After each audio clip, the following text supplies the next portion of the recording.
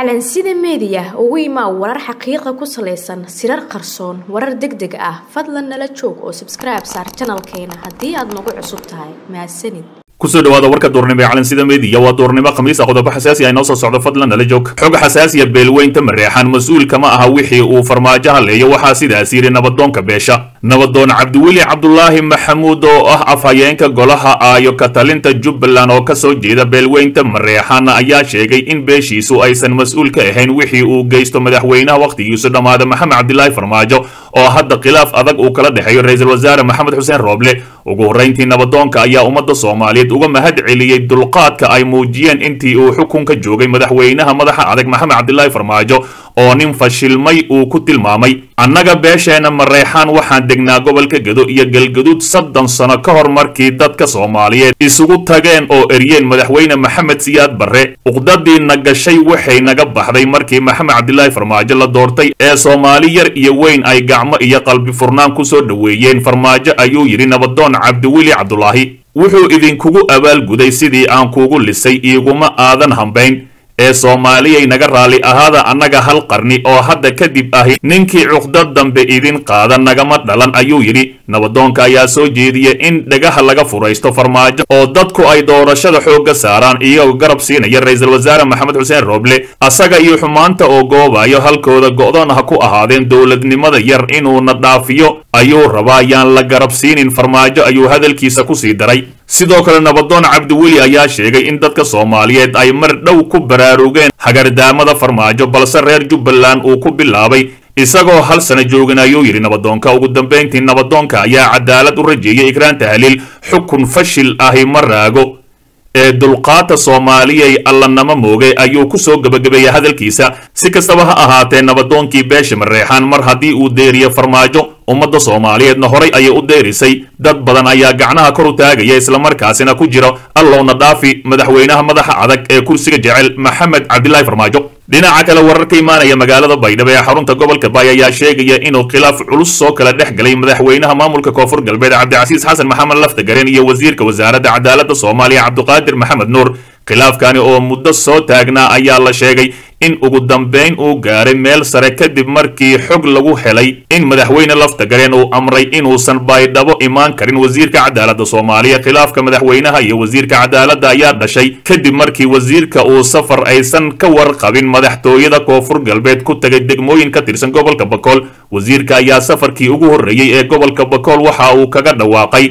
in uu yahay musharax xildhibaan isagoo boorar ku dhegsaday degmada waajid wuxuuna intii uu joogay bakool eedeeyey maamuladii koonfur galbeed ee shariif xasan iyo kan hadda ee laftagareen madaxweyne laftagareen ayaa la sheegay in wasiirka ugu goodiyey in uu yimaado baydhabo kursigaaga waxa uu yaallaa baydhabo. Bakool ma lagugu dooran doono baydhabana ma ahan meel la iska yimaado ee taas ku xisaabtan ayuu yidhi madaxweyne laftagareen sida ay sheegeen. Xubno ku dhowdhow laftagareen iyo wasiirka cadaaladda wasiir cabduqaadir maxamed nuur ayaa booska uu joogo waxaa geeyey guddoomiyaha golaha shacabka ee baarlamaanka soomaaliya maxamed mursal sheekh cabdiraxmaan lamana oga waxa uu kala kulmi doono khilaafka soo kala dhex galay isaga iyo madaxweyne laftagareen dhinaca kale wararkii ugu dambeeyey waan waan lagu dhexdhexaadinayo madaxweynaha mudaxileedkiisa dhammaada maxamed cabdilaahi farmaajo ra'iisul wasaare maxamed xuseen rooble ayaa ka socda magaalada muqdisho saacadihii ugu dambeeyey kulamadan ayaa waxaa wada madaxweynaha galmudug axmed cabdikaari qoorqoor iyo guddoomiyaha golaha shacabka maxamed mursal sheekh cabdiraxmaan ee mar hore sharciyadda ka dhacday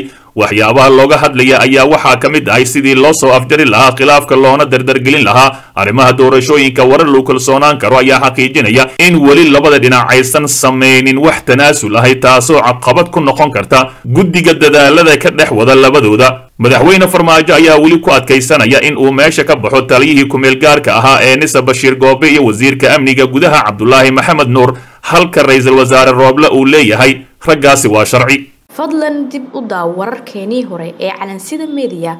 xog xasaasiya ra'iisul wasaare rooble oo hor istaagay banaanbixi loo ogolaaday qoyska ikraan tahliil islamarkaasina wararkii ugu dambeeyey ayaa ka soo baxaya. Ra'iisul wasaaraha federaalk soomaaliya mudane maxamed xuseen rooble ayaa hor istaagay dibadbaxi loo ogolaaday inay qaban karaan.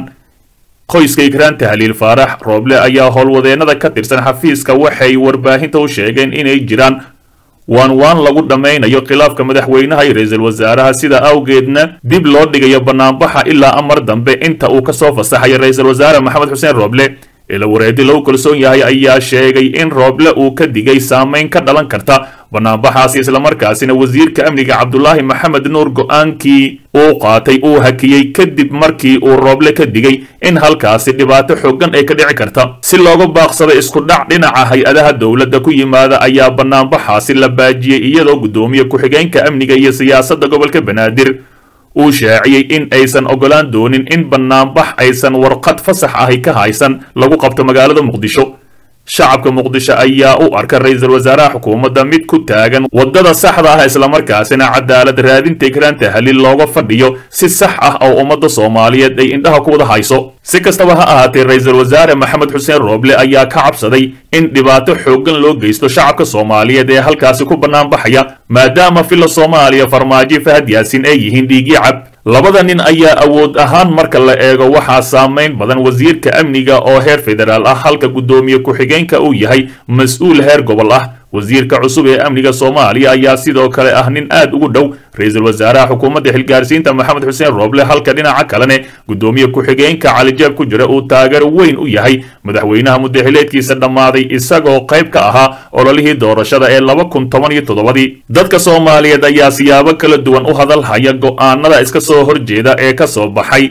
labada nin waxaase shacabka aad u soo dhoweeyeen hadalka wasiirka cusub ee amniga ee qoyska ikraan tahliil u ogolaaday dibadbax ballaaran oo nabdoon oo ka dhaca magaalada muqdisho si kastaba waxay arrintu ku xidhan tahay natiijada ka soo baxda wadahadallada ka socda filla soomaaliya ee lagu dhexdhexaadinayo farmaajo iyo rooble kuwaasi oo haatan maraya meel xasaasi ah islamarkaasina ay yihiin. Wadahadalladu kuwa haatan sii soconaya si kastaba ha ahaatee madaxweynaha wakhtigii ka dhacay maxamed cabdilaahi farmaajo ee kursiga jecel ayaa ku dhegan qodobo xasaasi ah halka ra'iisul wasaare maxamed xuseen rooble uu taagan yahay. Waxyaabihii uu sameeyey in ay ahaayeen kuwo sharci ah kiiska ikraan tahliilna ay tahay lama taabtaan dhinaca kale dowladda federaalk soomaaliya oo ka hadashay ganacsatada soomaaliyeed ee lagu xiray dalkaasi turkiga booliiska magaalada ankara ee dalkaasi turkiga ayaa lix iyo tobankii bishaani waxa ay xireen ganacsato soomaaliyeed oo isugu jira rag iyo dumar kuwaasi oo talaadadii la soo dhaafay la soo daayey ganacsatada ayaa waxaa loo qabtay in muddo soddon maalmood gudahooda ah ay kaga baxaan dalka turkiga.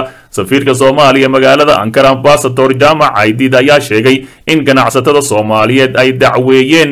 dadka xaafadda ay ku ganacsanayeen balse dadaal fara badan ay sameeyeen ku soo daayeen. Safiirka oo la hadlaya v o e da waxa uu sheegay in sababaha dadkan loo xiray ay ahayd in ay dalkaasi ku tageen fiisooyin dalxiis ahi iyo kuwa ardaynimo islamarkaasina dalka turkiga aan laga ogolayn ugu dambayntii safiirka waxa uu sheegay in guddiga ganacsatada soomaaliyeed ay u sheegeen in dadka la xirxiray dhowr jeer loo keenay digniino kala duwan lagana dalbaday inay sharciga waddanka ku joogaan ka dhigtaan mid shaqo balse ay ku adkaatay. Wararka ay warbaahinta helayso ayaa waxa ay sheegayaan in tirada soomaalida ganacsatada ahi ee la xirxiray ay gaarayaan ilaa sagaal qofood oo isugu jira rag iyo dumar si kastaba ha ahaatee soomaalida halkaasi ku sii qulqulaysa ayaa laga yaabaa in gebi ahaanba qaarkood la soo celiyo maadaama qaarkood sharci darre ay ku joogaan mararka qaarna dhibaato xooggan ay u geysadaan dadka halkaasi ku dhaqan. Fadlan teleefoonka shaashada kaaga muuqda ku soo dir ra'yigaaga ku aadan khilaafka u dhexeeya madaxweynaha wakhtigii ka dhacay maxamed cabdilaahi farmaajo ee madaxa adag iyo ra'iisul wasaare maxamed xuseen rooble